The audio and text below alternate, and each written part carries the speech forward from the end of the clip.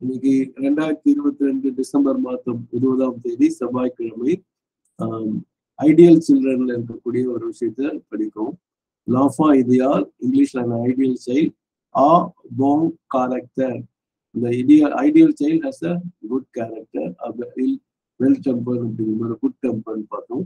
இப்ப நம்ம படிக்கிறதுனா இந்த வரிகளை இப்போ நான் காப்பி பண்ணி போடணும் இல்ல ne quand les choses semblent tourner contre lui ou que les décisions ne sont pas prises en sa faveur அப்படிங்கிறது வருது Il ne se fâche pas quand les choses semblent tourner contre lui ou que les décisions ne sont pas prises en sa faveur அப்படின்னு போட்டுட்டு இல் இல்னா he அதாவது ideal child நச ஃபாஷ்பா ஃபாஷ்னா கோபம் உருவதில்லை அப்படின்னு அர்த்தம். He does not become angry கா கியூயூஏஎன்டி கா அப்படின்னா வென். இது ஞாபகம் வச்சுருங்க அந்த வென்கிறது கேள்விக்காக நம்ம அடிக்கடி பயன்படுத்தக்கூடிய ஒரு சொல். இந்த இடத்துல வென் லே ஷோஸ். ஷோஸ் எல்லாரும் கேள்விப்பட்டிருப்பீங்கன்னு நினைக்கிறேன். ஷோஸ்னா திங்ஸ். இப்ப நம்ம ஹிந்தியில சீஸ் சீஸ் இந்த மாதிரி ஒண்ணு ஒரு வார்த்தை சொல்லுவாங்க திங்ஸுக்கு. அதுவும் இதுவும் கிட்டத்தட்ட ஒரே மாதிரி சொல்லுடையது. ஹிந்தி தெரிஞ்சவங்களுக்கு இந்த வார்த்தையை ஈஸியா பிக்கப் பண்ணலாம். ஆஹ் அப்புறம் சாம்பிள் அப்படிங்கிறது ரிசம்பிள்ஸ்ங்கிறது தான் சாம்பிள் அந்த இஎன்டி வந்து ப்ளூரலா லே ஷோஸ்க்கு உண்டான வேர்புங்கிறனால அந்த இஎன்டியை உச்சரிக்க கூடாது. எப்பவுமே ஞாபகம் வச்சுங்க ஸோ இந்த திங்ஸ் ரிசம்பிள்ஸ் அப்படின்னு சொல்லலாம். சாம்பிள் அந்த இஎம் வந்து ஆ அப்படின்னு சொன்னோம் எஸ்சிஎம் சாம் பிஎல்இ வந்து ஆ பில் சாம்பிள் தூர்னே டிஓயூஆர்என்இஆர் தூர்னே தூர்னேன்னா என்னவா இருக்கும்?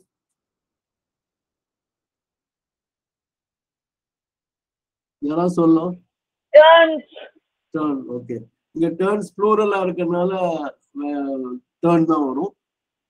Turn காந்த்ரு Louis. காந்த்ருன்னா என்னவா இருக்கும்?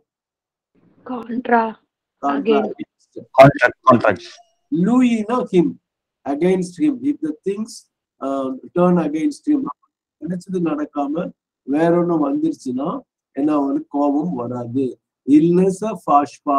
இல்ல ஃபாஷ்பாங்கிறத விட இல்லச ஃபாஷ்பா அப்படிங்கிறது வந்து அவர் கோபப்பட மாட்டான் எப்போ அவனு அவன் விரும்பின விஷயமோ அதுக்கு அவனுக்கு எதிரா திரும்பினாலும். ஊ ஊனா ஆர் க லே டெசிஷன் ந சோம்பா ப்ரீஸ் ஆசா ஃபேவர் ஃபாவர் அப்படின்னா லே கர்னா தட் லே டெசிஷன் த டெசிஷன்ஸ் ந சோம்பா ப்ரீஸ். ப்ரீஸ் அப்படிங்கிறது எஸ் பிட்வீன் டூ வவல் வந்து அப்போ பிராந்துங்கிற ஒரு இது ப்ரீஸ்ங்கிறது taken when the decisions are taken not in favor not in his favor. Favor favorங்கும் போது ஃபேவர்ங்கிற இங்கிலீஷ் வார்த்தை தான். அந்த ஃபாவர் வந்து எஸ்ஏ வந்து இப்போ உங்களோட உங்களுக்கு கேள்வி.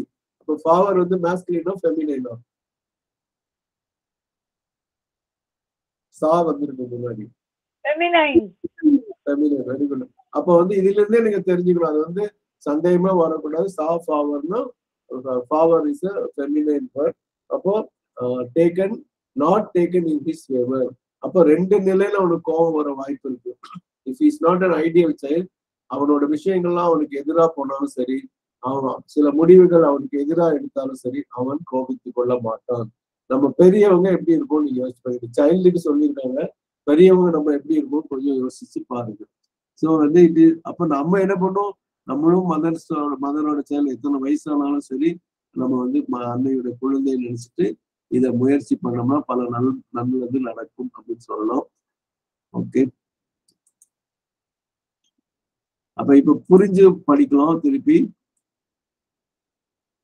Il ne se fâche pas quand les choses semblent tourner contre lui ou que les décisions ne sont pas prises en sa faveur. இப்ப நம்ம இங்கிலீஷ்ல என்டர்பிரைசஸ் ஒரு வார்த்தை பார்த்திருக்கோம் இல்லையா? ஒரு சில நிறைய கம்பெனி அந்த அந்த என்டர்பிரைசஸ்ல இருக்கிற கடைசி பகுதி அப்படியே இங்க இருக்கான்னு பாருங்க. தெரியுதா நான் சொல்றது? அப்போ அப்போ என்ன அர்த்தம்னு கேட்டீங்கன்னா இதோட வேர்ப் வந்து பிராந்துங்கிற வேர்ப்ல இருந்து வர்றேன் பிராந்துன்னா டேக்குன்னு அர்த்தம். அப்போ வந்து என்டர்னா ஆக்சுவலா அது என்டர்ங்கிறது ஸ்பெல்லிங் வந்து பிரெஞ்சுல வந்து ஆர்த்துன்னு வரும். ஆந்தர்னா என்ன ஞாபகம் இருக்கா?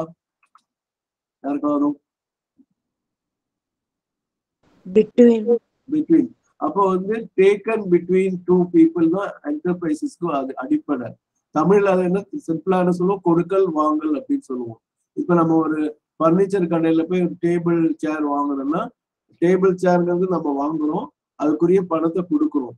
அதனால அது என்டர்பிரைசஸ் அப்படிங்கிற வார்த்தையை பயன்படுது பிசினஸ் என்ன சம்பந்தப்பட்டாலும் ஒண்ணு சர்வீஸ் இப்போ டென்டிஸ்ட் கிட்ட போனா அந்த பல் சம்பந்தப்பட்ட சர்வீஸோ இல்ல ஹார்ட் ஸ்பெஷலிஸ்ட் போனா ஹார்ட் ஆபரேஷன் பண்றதோ இல்ல காய்ச்சல்னா அதை வந்து நம்ம டயக்னோஸ் பண்ணி என்ன மருந்து கொடுப்போம் அந்த மாதிரி சர்வீஸா அவங்க கொடுப்பாங்க. அதுக்குரிய தொகை. அப்ப எல்லாமே வந்து ஆந்திரு அந்த என்டர்பிரைஸ் இஆர் வந்து மாறி போயிடுச்சு. நீங்க சென்டர்லயும் சாந்திருன்னு வரும். பிரெஞ்சுல அந்த இது பேர் எப்படிதான் மாறி இருக்கும். இது வந்து நீங்க சாந்திருன்னு தான் இருக்கும். ஆனா இங்கிலீஷ் வந்து சென்டர்னு இருக்கும். இது வந்து இது ரெண்டுமே யூஸ் பண்ணுவாங்க. அமெரிக்கன் ஸ்பெல்லிங்ல சிஎன்டிஆர் பண்ணுவாங்க பிரிட்டிஷ் ஸ்பெல்லிங்ல அந்த பிரெஞ்சு ஸ்பெல்லிங்ல சிஎன் டிஆர்இ போட்டு ஆனா சென்ட் சான்ட்னு படிப்போம். சென்டர் தான் நம்ம படிப்போம். இதெல்லாம் ஞாபகம் வச்சுக்கோங்க. ஸோ இதோட ரெக்கார்டிங் நான் முடிக்கிறேன். இன்னைக்கு கிளாஸ் ரெக்கார்டிங்